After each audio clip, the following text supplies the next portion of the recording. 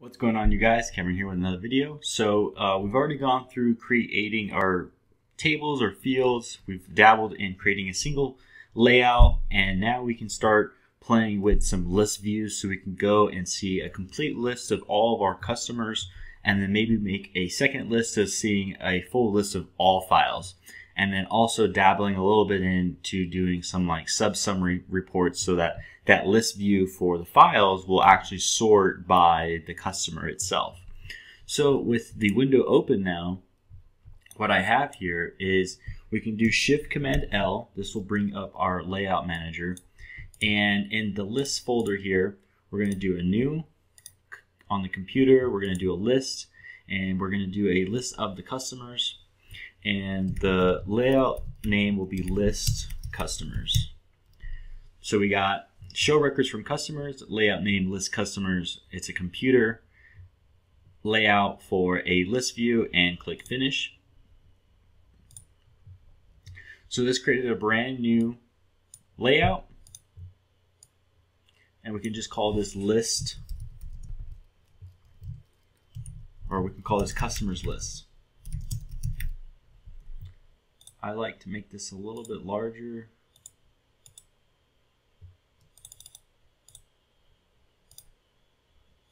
Make this white and bold. It's just a basic text field like any other text field you would put in like um, pages or on like uh, website editors, anything like that. It's a basic text field that you can just drag and drop on, edit your own text. Now this body, so the cool thing about a list view is that it's going to duplicate anything within that body. So we also have a footer here. The footer stays at the bottom and then the top navigation will always stay at the top as the top navigation. I'm going to delete the footer, really no need for the footer here right now. And the body here is where we can start dragging and dropping some information. And what I would like to drag and drop is the um, full name. So instead of having the label let's do let's do the label inside the field. Drag and drop that. Expand this all the way. And then we'll probably do a phone and email.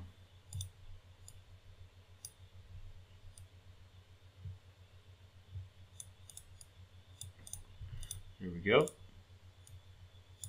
And then all we also need to do to create a list view after this is just create a a single button that will take us to that layout to view the data for that specific client. So all we got to do here is click and drag. We can just say view. And then this could be a single step, which is fine.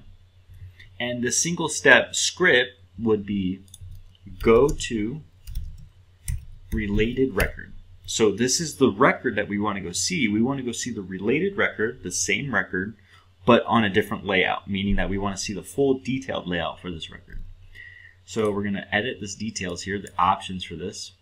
So we're getting the related records from the same table, customers, and we're going to the layout, lay customer. Now this is where you can give your client some more, uh, the, users more options as far as opening of a new window, show only related records. Right now I just want to stay in the same window and just go there. Click OK, click OK. For good user navigation, we want to change cursor on handover. So there we go. We can now go exit layout. And right now we only have two customers in the list. So you can see how it, it automatically generates the list for you based off of what's in that body field. Considering the fact we only have two customers, it's only showing two. When we click this view button, it should take us to Joe. And it did. As soon as we click there, we're at Joe now. One thing you'll notice is that we have no way of going back to that list view other than we have the list view here as well. You typically wouldn't really create multiple lists, but this is just to give you the ideas of how to create these list views in FileMaker if you didn't have, want this specific setup. So we can edit this layout and we can add another button to this layout we can do list view. With that button selected over here on our style, we have like different types of uh, styles for a button. Just select this. And for this, we can do another single step script.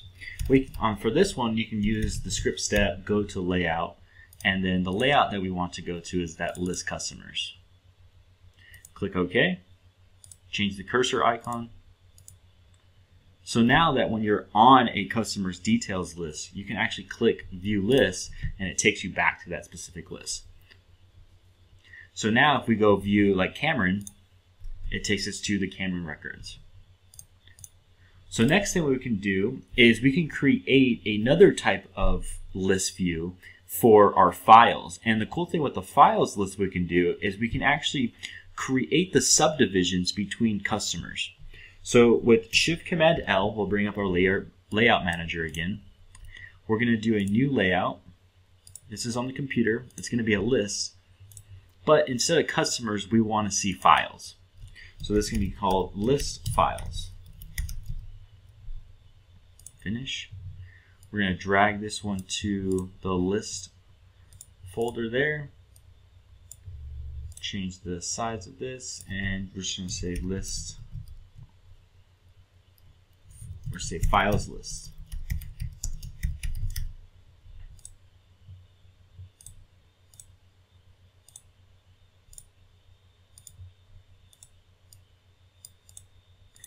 Now on this list, we have to decide, okay, what do we want to view as a file? Well, typically you would want to view the file, file name, and file description. The cool thing with this one is we also have the body and footer again. We can delete the footer. Above the body, we can actually subdivide this list based off of each customer. So I'm going to go to Layout, Part Setup. I'm going to create a sub summary one sorted by and what I want to sort by is the customer. So every single file has a related customer because we related the customer's primary key to a file. With that being said, we can actually sort based off of that ID, but also use the customer's name doing so. So we're in the part definition, subsummary, when sorted by customer ID FK, click OK. Then FileMaker is going to ask you, do you want to print this above or below. For our case, it's better to do above. Click Done. So now we have this extra little menu bar here, which is a subsummary. The cool thing with this is we can actually change the color of the subsummary to something like a light yellow. And then we can do insert merge field. Instead of being in the files table, we want to go to the customers related table. The customer's related table will be the name. We can make this black and bold. And then within the body of this list view for the file, we can add the file itself. We can add the file name.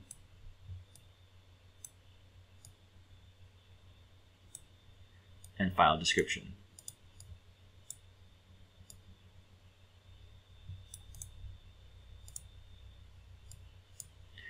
We can add a little bit more details here with the creation timestamp and created by. Typically these fields would be merge fields. Go to insert merge field and we can select from the current table files and select creation timestamp. We can also insert merge field and then do a created by. We can label these created by and then label this one creation at timestamp. We can give these boxes a little bit more room to breathe. And we'll, also what we can go do is even though you can interact with this list with these files and file names and descriptions, maybe we want to go view the customer from here. So what we can do is we could create a button to go to the related record from here, but it'd be cooler if we can just click the name. So instead of this being black, let's make this white, or I'm sorry, blue. Let's do like a light blue and underline. Usually in web slash email slash text messages, when you see a link, it's blue and underline. This tells you visually that you can visually click on the link. So I'm, what I'm going to do is make this a lot larger here. And I'm going to set these fields right here. And this one will stay right there. And then what we can go do is create our first script in the script editor. We can do Shift Command S. This is the script workspace. This is where you can go and create your scripts and save them and interact with them in the layout view. We're going to add a new script. And the new script will be, we're going to rename this View Customer. Basically, the script is kind of like the related one. Go to related record from customers, but we want to use the layout lay customers. We could have made this in a script, a single script step, but just gives you a visual aspect of saving scripts in your database so you can easily go edit them. So you don't have to go to the exact location of wherever a single script object is on the layout to edit it. We're going to save this. This also shows you how you can assign a save script in your database to a layout object. So with this object selected, we can go to button, button setup with the right click. The action is a perform script and you can actually select that script that we just made. One other thing that we need to do on this layout is either use the FileMaker sort button or create our own. First, I'll show you the sort button from FileMaker.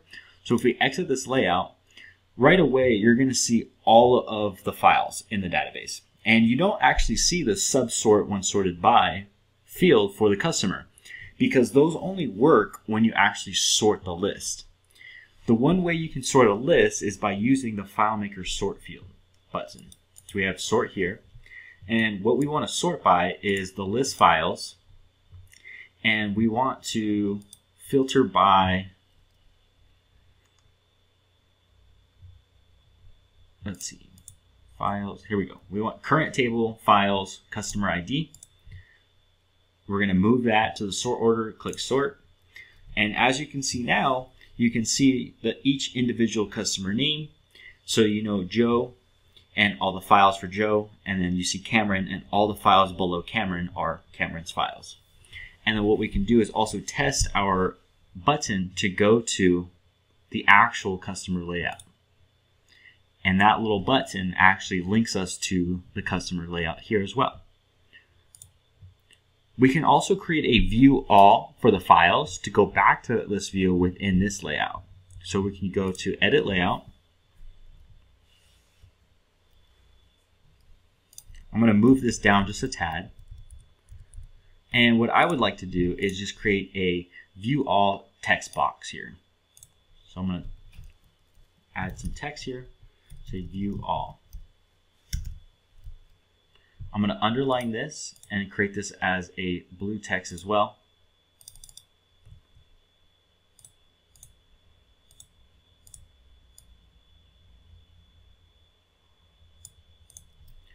We can create another script step by going to Shift Command S, creating a new script called view all we got to make sure we're in the rename, the view all files. This script step will say go to layout and the layout that we want to go to is the list view which is list files. Now the cool thing with this script editor, instead of having to manually go and sort the list every single time by going to that button at the top of FileMaker that says sort and then adding the sort that we want to do, we can tell FileMaker exactly what we want to do within the script. So it says go to that layout. I want to automatically show all records and then I want to sort the records with dialog off and I want to specify the sort order based off of the files, customer IDFK, move that over to the sort order, click OK. Command S to save.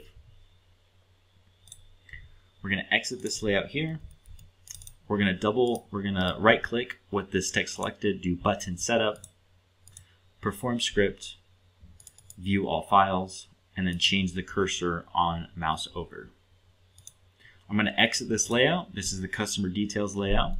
When I click view all, it takes us to the files list and also sorts this list for us. We've already gone through creating two list views for customers and then also files based off of sorting by the customer. In the next video, we're going to also complete a couple more scripts to navigate from this layout and go to the customer's layout or the customer's list or the uh, details list. Also in the next video, we're going to show you how to automatically resize these components so that they move with the window and resize accordingly to what the window size is. Stick to, stay tuned for the next video and I look forward to seeing you there. Thanks guys.